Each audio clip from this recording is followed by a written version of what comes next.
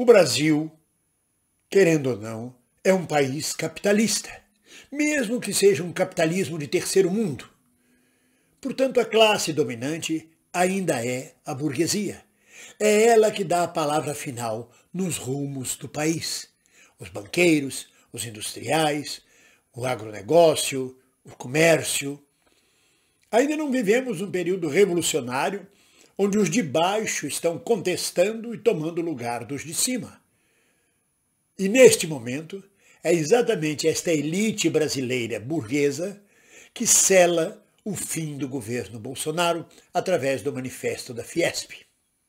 Olá, minhas amigas e meus amigos. Na defesa da democracia, do bem-estar social e contra o fascismo. Alegrias!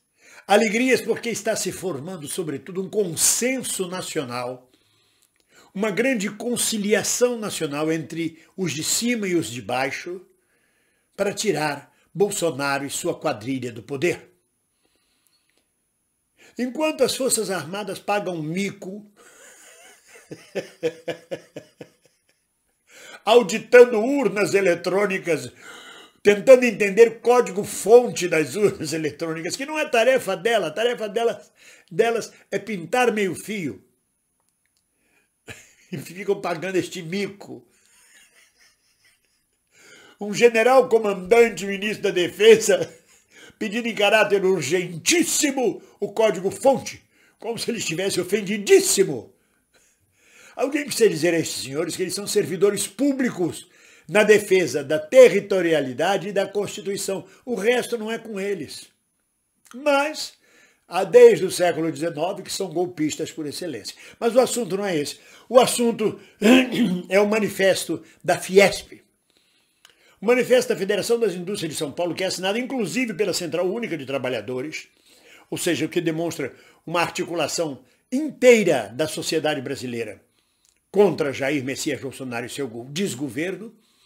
Esse manifesto é muito importante, porque ressalva os valores da democracia, enaltece o STF, enaltece o TSE, enaltece as eleições e as urnas e o caráter democrático da votação de outubro é mais uma barreira que se levanta contra o golpismo de Bolsonaro et caterva.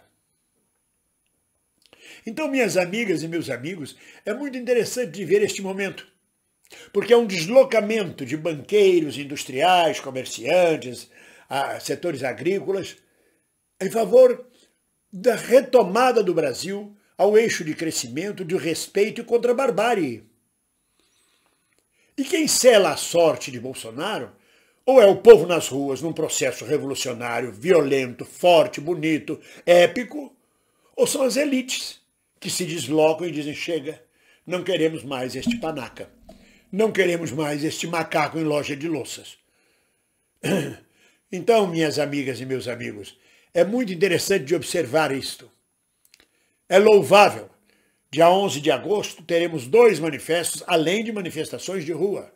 No dia 11, no dia 13, o manifesto da Faculdade de Direito, do Centro Acadêmico 11 de agosto, que já vai estar chegando a um milhão de assinaturas, e o manifesto da Fiesp, que reúne mais de 100 entidades do mercado brasileiro, tanto do mercado de trabalho quanto do mercado produtivo, considerando que o mercado de trabalho é o verdadeiro mercado produtivo, mas o regime ainda é burguês, vamos usar esta linguagem.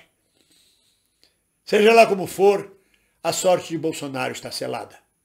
Se vai perder no primeiro turno no segundo, se vai perder com 18 pontos de vantagem de Lula ou só com 5 pontos de vantagem, o, o interessa é o fim da lacraia, do verme, do inseto, da, da figura venenosa que Bolsonaro e sua família e seus apoiadores significam para o Brasil. No mais, minhas amigas e meus amigos, é prosseguir na luta com alegria, com fé, com esperança, perseverança, não baixar a cabeça. Vamos em frente, buscando neste controle que a burguesia tem sobre o poder, a parte dos trabalhadores. Não perder de vista isso. Pode-se fazer aliança com Marçal, fazer aliança com Janone, com Alckmin, com Tasso Gereissati, com Kassab, mais amplo leque de alianças é necessário, porque é uma conciliação nacional. mas não perder de vista o fundamental, o ponto fulcral, a defesa dos trabalhadores. Dia 2 de outubro, todos juntos. Ninguém solta a mão de ninguém.